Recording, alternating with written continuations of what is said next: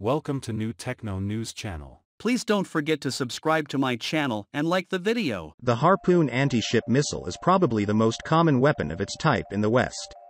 Since it entered production with McDonnell Douglas, now part of Boeing, in 1975, over 7,000 have been produced, equipping hundreds of ships around the world at the relatively cheap price of around $1.5 million. This weapon system is versatile, capable of also being launched from aircraft, trucks, and submarines. A little known fact about this missile is that it was originally developed as a weapon against submarines. With its sea skimming capability, it was originally intended to destroy diesel boats recharging their batteries on the surface. The very project name was the reference to that mission, as submarines are commonly nicknamed whales in the Navy, and harpoon is used as a verb to describe the act of sinking one. Why the US Navy thought it was a valid concept has been lost to history, as almost all Soviet diesel submarines then in service and all in development used snorkels to charge their batteries during wartime, allowing them to remain submerged. In any case, it was repurposed into a weapon for use against surface ships soon after the sinking of Israeli destroyer Eilat by a Soviet P-15 Termit anti-ship cruise missile in 1967.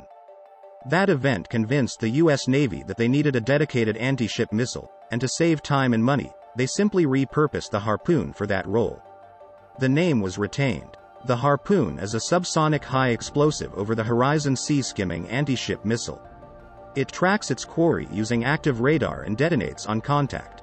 This missile is fitted with a heavy 221 kg penetration blast warhead.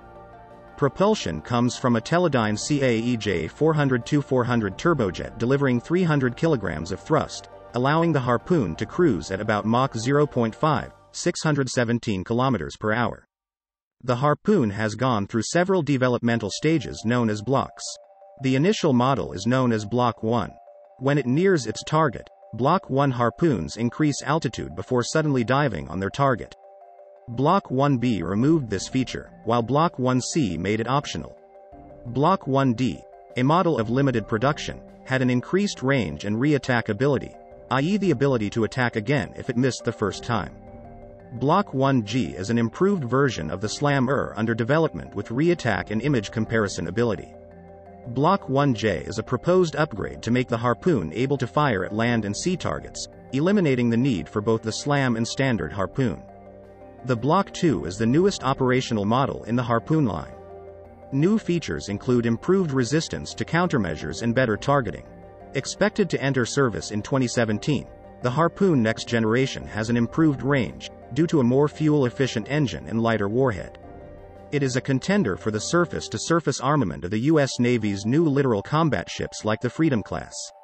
On ships, the Harpoon is normally launched from octuple launchers. The Harpoon first saw combat in 1980 in the Iran-Iraq War.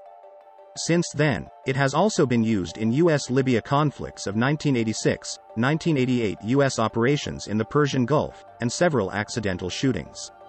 Currently, about 30 nations use the Harpoon, including Australia, South Korea, Canada, Brazil, Saudi Arabia, Pakistan, Egypt, the United States, Taiwan, Germany, Turkey, Israel, India, Japan, and the United Kingdom.